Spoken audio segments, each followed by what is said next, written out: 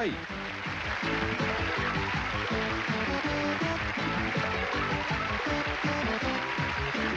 has been a Facetta production in association with Telepictures.